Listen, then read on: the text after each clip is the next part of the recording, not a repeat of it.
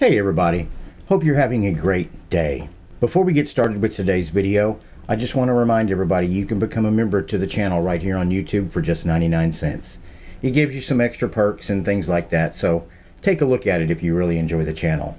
You can also catch me over on Utreon, Patreon, Odysee, and Rumble. You can also become a member on Utreon and Odysee as well. Check that out. Also, I would like to welcome my newest member, John. He's joined yesterday. Thank you so much. Every member that is a part of this channel, you don't know how much it means to me that you like my channel and you want to become a member.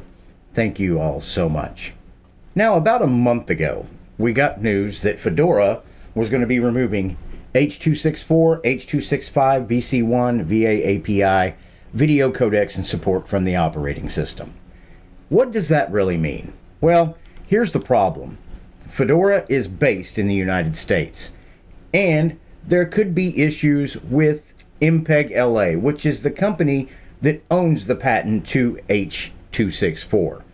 That's where the problem lies. Them actually implementing it in the operating system could cause patent issues down the road, and because they are based in the United States and it's under United States patent law, they basically pulled it to protect themselves. And if you paid attention to the news, you also saw that OpenSUSE followed closely behind. Now, if you're a user of Ubuntu, you see that they haven't done anything. That's because they're based in Europe, so you don't have that issue. One of the main problems you're going to have is that you're still going to be able to play video and audio on your system, but it's not going to be GPU accelerated anymore. It's going to run directly from the CPU. Now, having said that, what's going to happen is if you're a laptop user, you're going to see that your battery life completely goes to crap because you don't have everything going through your graphics anymore. It's all going through your CPU. But as always, the open source community reacted immediately, found a solution in RPM Fusion, which is a secondary repository. It's almost like the AUR is to Arch. It's just a place to get different applications and software that aren't available through regular channels. Now, the package that's on the RPM Fusion is from Europe, specifically France and it's not subject to the same patent rights as those in the US. The package that restores the support for the H.264, 265, and VC1 codecs is currently ready and under review. So a lot of Fedora users may need to install RPM Fusion. Now, what I want to say is if you're somebody that's not comfortable with doing that, or you're somebody that's using Fedora and you haven't really got into command line or download or installing codecs or something like that, because it used to be easy. They asked you at the beginning of the install, hey, do you want to put media codecs on here? You click that option and you didn't have to worry about it. But then you would have to secondarily go install RPM Fusion if you wanted other packages. What if you just want to download an operating system that's based on Fedora, that's going to have the codecs, it's going to have RPM Fusion set and ready for you to use, and a lot of tweaks that just make using the operating system flawless out of the box? Well, then you just go over to ultramarinelinux.org. I'll be sure to include that link in the description below. Now, Ultramarine Linux is a Fedora based Linux distribution designed to stay out of your way and it's easy to use out of the box. What they wanted to do was take the beauty and stability of Fedora, but then make it to where when you boot it into either a live USB or install this on your machine, you're just ready to go. You're ready to go work. You're ready to go create. You're ready to go use your computer as opposed to saying, okay, I have a checklist of things I have to do after I install Fedora, and this is what I need to do. With Ultramarine, you don't have to worry about that. It's there, it's ready to use, it is easy. It is what Linux Mint is to Ubuntu. Ultramarine is that to Fedora. It just makes it easy to use out of the box, and it's quite beautiful as well. But you come down, you've got a little bit of information here. Ultramarine Linux is a Linux based operating system designed for your own personal workstation or battle station, designed to be 100% bug for bug compatible with Fedora. So if you like that dependability of Fedora, you will like this. It's developer friendly and it's got same defaults of things that you can use. You've got a good wiki, you've got packages, and then you've got download up here. If you click on download, it brings you over and they give you a lot of different editions. You can get the flagship edition, which is the Budgie desktop from Solus. You got GNOME, Pantheon edition, which is what you see on Elementary. and then a flagship edition, but immutable, powered by OSTree. So if you're somebody that wants an immutable operating system, Ultramarine's got you set and you're ready to go. Now they do have a deprecated build of the Cutefish desktop environment. I covered this about three months ago. It was a decent little distribution, but it is deprecated. It's not being updated. So if you want to take a look at it, you can, but I would not rely on it as a daily driver at this time. When I did my previous review on the Cutefish edition, it hadn't been deprecated yet. So now what we're going to do is we're just going to zip on over to the desktop. And if you download Ultramarine, throw it on a USB or open it in a virtual machine, this is the screen you're met with. It's got a beautiful introductory desktop for you. It does have a little pop-up that says, do you want to try it or do you want to install it? I'm just trying it right now. I haven't installed it. But you can see it's got a beautiful wallpaper. You've got one panel down here on the bottom. You've got your Raven notification panel. So if you click this little arrow, your little notifications come out over here. You can add different applets to it. You can check your notifications right there. And then you can do all kinds of things over here. If you're playing audio or video inside of a browser, it will have controls for it over here, and it'll let you know that they're playing. Do you want to play some music? What different devices do you have hooked into your system? So I like the Raven. It makes things real easy to get to and accessible. And I do like that it pops out a little bit and gives you a little area to work right here. I really like that. So let's go ahead and close Raven. Then you've got date and time down here, power, sound, internet connection, and then of course I'm using a US keyboard. And I do have a scroll on my mouse so I can come over here and scroll between my desktops if I want to. You've got four of them to choose from. And then you've got your application manager. Now, first thing I want to do is go ahead and right click. You've got Budgie desktop settings right here. So let's go ahead and open that up. And with the Budgie desktop settings, let's make that full screen so you can see it. It kind of gives you style right here. You've got your widgets, icons, cursors, notification position, dark theme, built-in theme, or animations. And I don't know if it changes. No, it comes with a dark theme out of the box. But you can change these over here. Widgets, if you want to change the way those look, you can change it right here. Same thing with icons, cursors, and notification position. Then you have your desktop. You've got your desktop icons. If you've got icons that are on the desktop and you don't want them there, just turn it off. They'll disappear. That's completely up to you. And that's how you want to set up your home screen. What you're comfortable with. If you want icons there, put them on there. And then, of course, what it'll show on the home screen. You've got your home directory trash. If you don't want your home directory there, just shut it off. Trash stays there, or you could do it either way. Click policy, double click to open. You can change that to single click if you would like. And then of course your icon size can be small or all the way up to massive. That's completely up to you. I'm going to go ahead and leave it on normal. Number of virtual desktops, you can add more there if you want to. And as you can see, it shows you the different ones down here. Let's go to desktop 2. I've got 7 now, or you can run it down to 2 if you want to. That's completely up to you and then fonts and then adjusting and adding things to your Raven over here is all right here. You can show a calendar widget, show sound output widget, microphone, media playback, all that right here. You can adjust that to however you want it. And then you've got your windows. You can attach a modal dialog to the windows, button layout, center new windows, automatic tiling is on. Like if you drag it up here, it'll automatically tile it.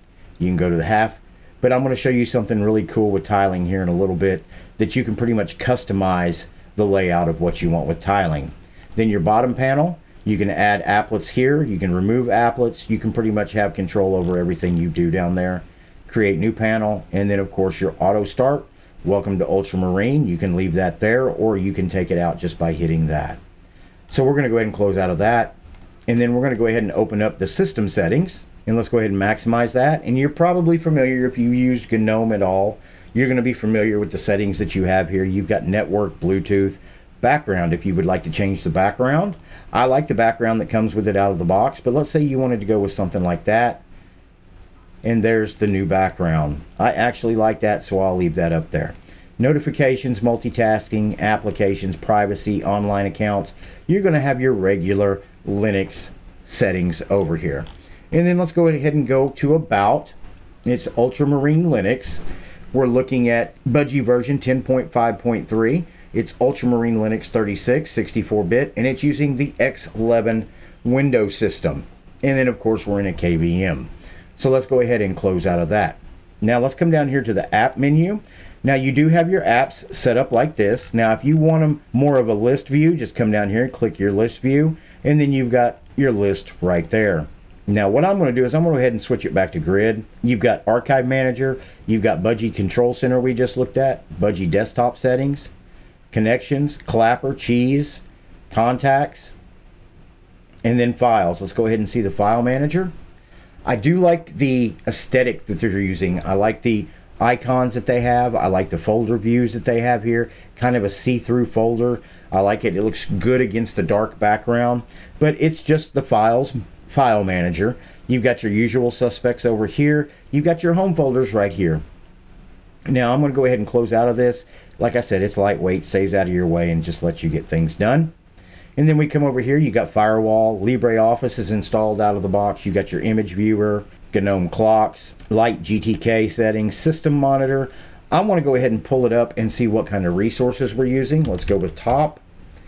And right now at rest with just the terminal open, you're using about 900 megabytes of the two gigabytes I have issued to it. Now, once you do install it, it's going to run a little lighter for the simple fact that you're not going to have some of the operating system running in RAM. I'm going to go ahead and close out of that and go back down here to the app menu. Let's go back over to where we were. And then you do have weather, WallStreet control, system monitor, and then you have the window shuffler. I really like this. I'm going to go ahead and open this up and show it to you real quick. This right here gives you shortcuts of how you can move windows around the screen. So let's say you wanted this to go down in the bottom left of the screen. You just hit Control, Alt, 1 and it drops it down to the bottom half of the screen. Or if you wanted it in the top right, Control Alt 9, it moves up there. If you wanted it down in the bottom half, you could Control Half 2, and it would drop it back down there. But what you can do here is actually customize these layouts. You can resizing and moving windows in a custom grid. You can turn that on, set up how many columns you wanted, how many rows you want. Now this right here gives you a lot of power over tiling on your desktop. And I suggest that you go through and kind of play around with it and set it up the way that you want to. Now we'll close out of that. You can go up here. You can have custom layouts. They're set on right now. And toggle layouts, quick list and manager, super alt and left. So let's super alt left. And it'll bring up layouts right here. And you can come in here and add a new. Name it, set it up the way you want it to work with all the windows that you have open, and you're going to be good to go. That's one of the things I really like about Ultramarine. It gives you the ability to customize the tiling feature that you have on Linux. I know that the tiling feature in Pop! OS is very popular, and a lot of people try to bring that shell script over to other distributions. But I think with the window shuffler, it actually gives you a little bit more power and gives you a little more customization over what you want to do with your desktop. Then you can come here and set your window rules. You can turn those on, grid, XY, span. You can pretty much set that however you want. Then you can set up your applet. And then, of course, miscellaneous. You can set a top margin, left and right margins, bottom margin, window padding. It just gives you complete control over that. And I love that in a Linux distribution. So I'm going to go ahead and close out a window shuffler and come back down to the app menu. And like I said, you have some of your base applications. Now, what I want to see is how we install software. So let's go ahead and open up their software center. And it pops up. It's going to take a little bit to populate. And once it loads up, it'll look quite familiar to a lot of people. Let's go ahead and make it full screen. Up here, you've got a little scroll that goes through and shows you different suggested applications. Then you can scroll down here and you've got editor's choice, news and updated. And then we can go back up to the top. You can create, document viewer, and then of course it'll show you your installed and your updates. Now what I want to do is do a search real quick. And we're going to look for something like GIMP go ahead and let it search the repositories. And there's GIMP. Let's go ahead and click on it. And then it'll bring up some good information. It'll give you screenshots. It'll let you know whether it's safe or potentially unsafe. This right here says it's safe. And it'll also, if it says it's unsafe, you can click on it and it'll explain the reasons why it's unsafe. Right here it says it's safe. It's been reviewed by your distribution. It's got auditable code and the license it's under and the source. Now, if we close out of this, you'll look up here, it'll say Ultra Linux Package, Ultramarine Linux Package. and then you can click on it. It's also available in the Flathub. Now, what you will notice is sometimes when you look up applications, you'll come up here, it'll say RPM Fusion repository because the RPM Fusion repository has already been installed and you don't have to worry about that. What Ultramarine Linux is, it's not just Fedora with a different desktop. It's Fedora made easy. It's Fedora with all the things you're supposed to do after you install Fedora already done, and then all you've got to do is use it. That's the easiest way I can explain it. So what I'm going to do is go ahead and close out of this. Let's go back down to the app menu. I think we've pretty much looked at everything in there. That's a quick look at Ultramarine Linux. Beautiful distribution, solid Fedora base with all the little things taken care of for you. All you have to do is download it, run it in a virtual machine, or install it and just use it. That's it. You don't have to worry about codecs not being there because of a patent issue. They're already there because they're based outside the United States. Just remember that. If your Linux distribution is based in the US, more than likely that H.264 and 265 support is going to be gone. Those that are still based in Europe, you don't have to worry about. Tell me what you think. Is Ultramarine Linux something you might download, throw on a USB, put in a virtual machine and take for a test drive? Let me know in the comments below. Please do me a favor before you leave today. Please like, subscribe, or follow my channel. The more likes I get keeps me in YouTube's algorithm, which means the information you just saw in this video, if it was helpful to you, it can be helpful to somebody else. And subscribe. Doesn't cost anything. And if you end up not liking me, you can always unsubscribe. If you like the channel and enjoy the videos that we are producing, we are on three separate platforms YouTube, Utreon, and Odysee. And you can become members on all three. On YouTube, it's only 99 cents. On Utreon, it's $2.99. And on Odysee, it's $4. You can also buy us a cup of coffee, maybe go over to PayPal and throw us a donation, or go to Patreon and become a patron to the channel. All those links will be in the description below. As always, Thank you so much for watching my video, and I will see you in the next video.